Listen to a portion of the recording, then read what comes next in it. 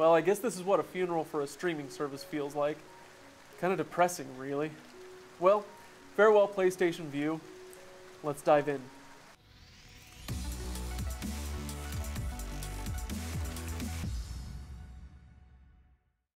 Yes, PlayStation Vue does seem to be in trouble. Honestly, this is probably a little premature. It's not so much that this is a funeral as it is kind of putting a streaming service in hospice care. Because frankly, the competition is running away. Hulu Live and Sling TV, they both now have northwards of 2 million subscribers. PlayStation Vue, meanwhile, has shrunk. They're now, reports put them at about a half million subscribers. So, industry analysts have been calling on Sony to shut down PlayStation Vue for a while, but they're not doing that. In fact, they're making plans for the future, which is a little odd for something that seems to have one foot in the grave.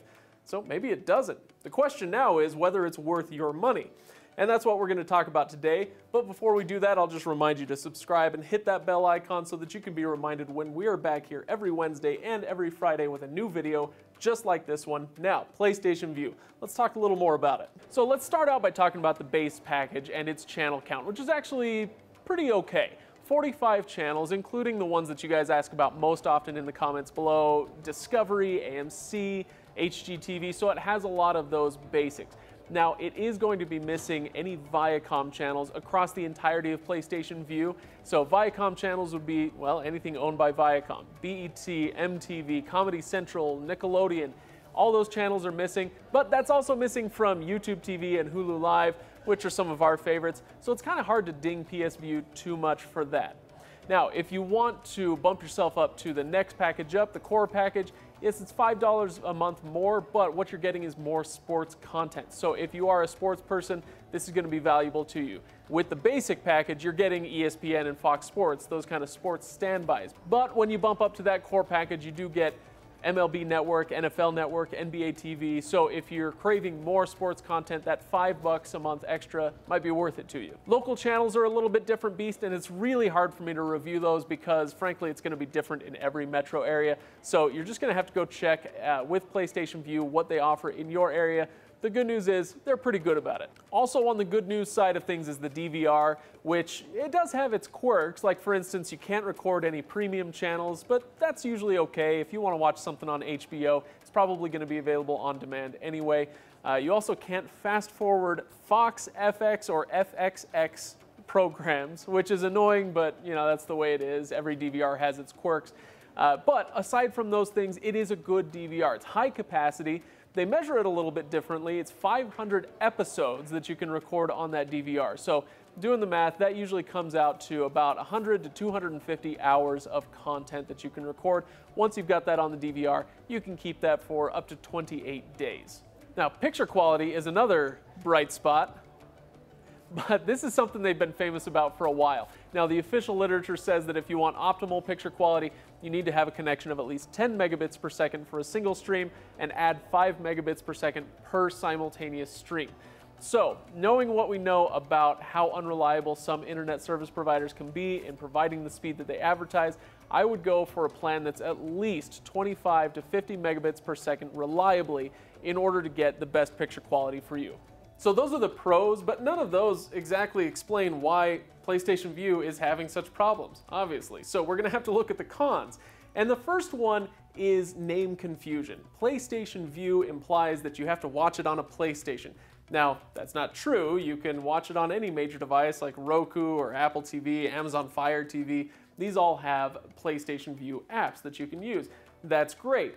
But if you're just starting out on your cord cutting experience and you're just starting your preliminary research, I can see how that might be pretty confusing. Also confusing is the simultaneous streams issue. Now this is gonna be important to you if you have roommates or family members and you guys want to stream shows simultaneously in separate rooms or something.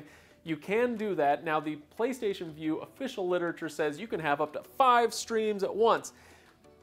And I guess that's true, but here's how it works, I think. You get three simultaneous streams in your home, on your home network, on any device you want. And in your home area, we're talking geographically close to your home, you can have three simultaneous streams, including that one in your home. So that makes up to five. But anything outside your home can't be done on a streaming box like a Roku or an Apple TV. It has to be on a mobile device.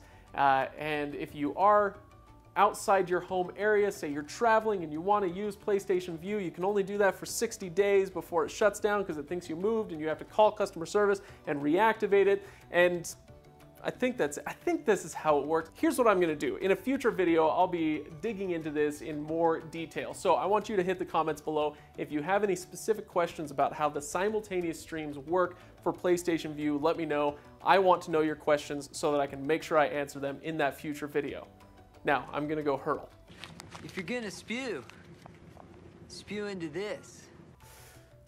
And then there's price. Okay, $45 for the base package and you get 45 channels plus some local ones depending on your area. So you think $45 for 45 channels, a dollar a channel, that's not too bad.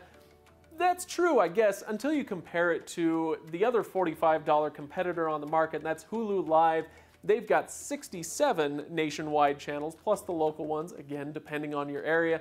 And you can see how the value over there is quite a bit greater than what you're getting on PlayStation Vue. Over there on Hulu, you're not just getting the 67 channels, you're getting Hulu itself, including Hulu Live TV. So a lot of value over there. It's easy to see why people would jump ship to the other $45 base package at Hulu Live. To get that sort of channel count on PlayStation Vue, you'd have to go to the Elite package, 60 bucks a month, quite a jump from there. You know what though, ultimately I could come up with a list of cons for any of these streaming services. It doesn't necessarily mean that they're not worth it. It doesn't mean that PlayStation Vue has one foot in the grave. What it does mean though is that it's not quite as vibrant or exciting as Hulu Live or YouTube TV, and those are the two services that I would probably direct a new cord cutter toward. If you're already with PlayStation Vue, I kind of think of it the same way as DirecTV Now. If you already have it, you like it, that's fine, stick with it. And don't forget we only have two more days left in the giveaway for the TCL Roku TV, so check out the description, there's a link there where if you subscribe to the channel and like and share and all these things, you can get entered to win that TV. So subscribe for future giveaways as well. Thanks for watching guys, we'll see you on the next video.